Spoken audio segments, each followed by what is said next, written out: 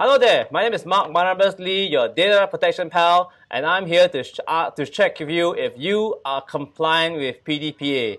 So I'm going to ask you a series of questions and you answer truthfully, okay? First question, do you have a DPO? If you do not know what a DPO is, then you're not compliant. A DPO is a data protection officer.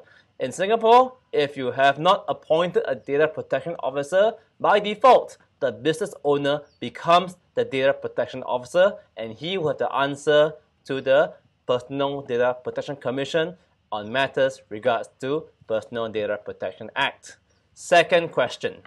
Do you have a work process if you collect NRIC? Um, if you do not have a work process, then you might want to do one really quickly like now because the NRIC is a very important document because all government agencies in Singapore uses this number, this S, whatever seven numbers and alphabet behind to identify each individual. So it is essential that every organization that collects NRIC has processes to protect it and be able to demonstrate these processes. And don't tell me you don't, if you have staff rather, I'm very sure you collect NRIC, don't you?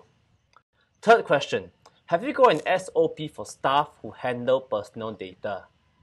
It's very dangerous if you have staff who handle personal data but are not aware of the importance and the risk that they can be put into, like phishing emails, scams, and even uh, malicious attacks on the system.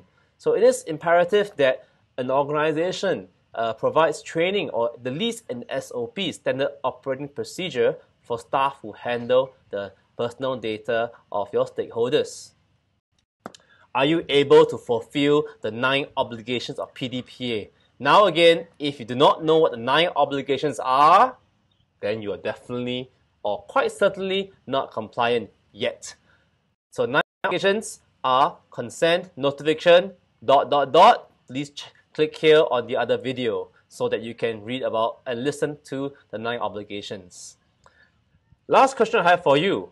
Do you have a DPMP? Uh, uh, if you do not know what a DPMP is, you do not have one. A DPMP stands for Data Protection Management Program. It is a framework or roadmap as to how the organization handles personal data and even how it handles a breach if it actually happens. Of course, we hope a breach never happens, yeah? And of course, there are many more components as to uh, to check how how compliant you are.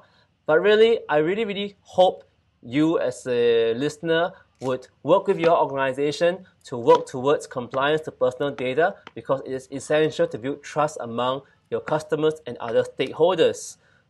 Over here, I have got a QR code you can scan.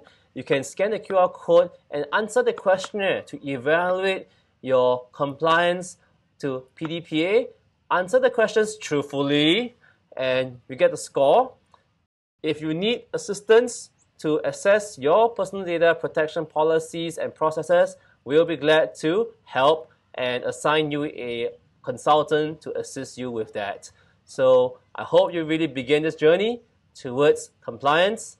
I'll see you again real soon and click here to subscribe and listen to more videos so that you can pick up skills and steps and tips on how to be compliant to Personal Data Protection Act. So see you again soon and goodbye.